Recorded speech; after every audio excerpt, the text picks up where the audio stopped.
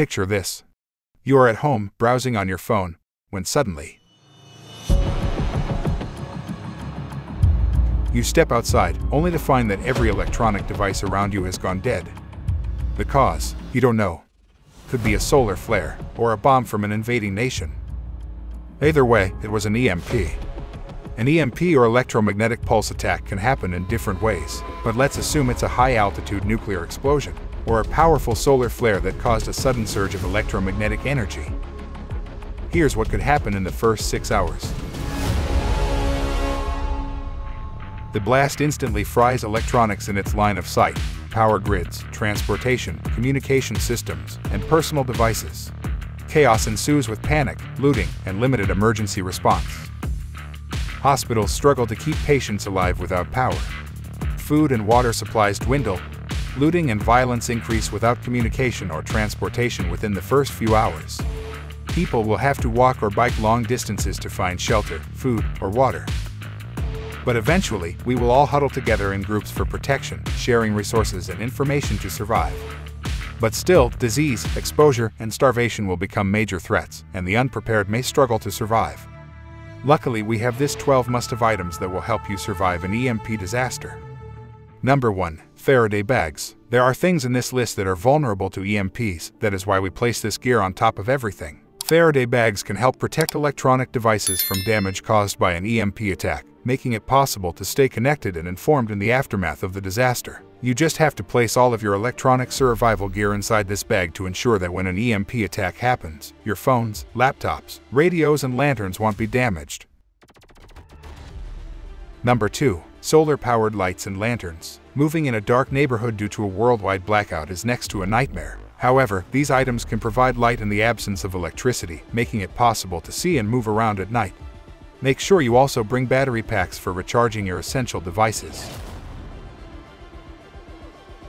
Number 3. Hand-cranked emergency radios for communication. Without the news from TV and the internet due to the blackout, you will be unsure of how to face the unknown. However, hand-cranked radios can provide important updates on the situation and help you stay informed about rescue efforts or any government updates and announcements. Number 4. Portable water filtration systems. While chaos is ensuing, it can really be hard to get water supplies and groceries or trust that your water supply at home could still continue without electricity in your city. But if you have water filtration systems, they can help purify water from natural sources, like rivers, lakes, or even mud holes, making them safe to drink. Number 5. Non-perishable food with a long shelf life. The recent pandemic taught us that your neighbors might be more selfish than you really think. Luckily, you are prepared. This type of foods can last for a long time without refrigeration or cooking, making it ideal for emergency situations. They come in different forms like biscuits, bars, and even instant meals. Number 6. Survival Guides and Reference Materials. Knowledge is power, and it will help you survive. However, if there is no internet, then you will be left wondering what to do in these situations. Good thing there are printed copies of survival information that you can rely on. If your family have these books in your hands, you'll always be a step ahead of the average people. They can provide a wide variety of helpful information about first aid, shelter building, and even hunting and growing your food in case you ran out of supplies. Number 7. First aid kits, medical supplies, and personal hygiene items. This one is a no-brainer. They are a staple in survival and can help prevent infections and treat injuries in the event of an emergency.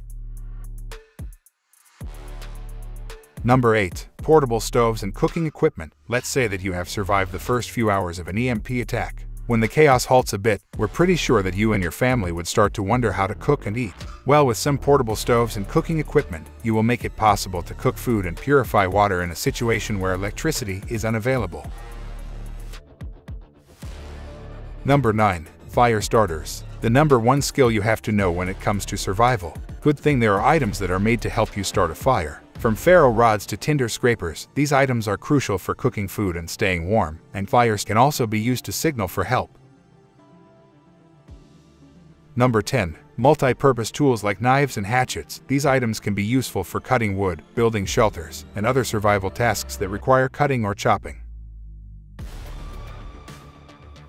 Number 11. Self-defense weapons like pepper spray or guns. These items can be helpful in protecting yourself and your family from potential attackers in the aftermath of an EMP attack. Number 12. Mental and emotional support materials, such as books or games to pass the time and help you and your family stay calm. Surviving an EMP attack is a matter of preparedness. If you have the right gear, you can survive on your own and you can buy your family some time before the government can respond or send out supplies. If you like survival and outdoor gear content, make sure to subscribe and follow BattlBox on our social media channels. Until next time, always be prepared and stay vigilant.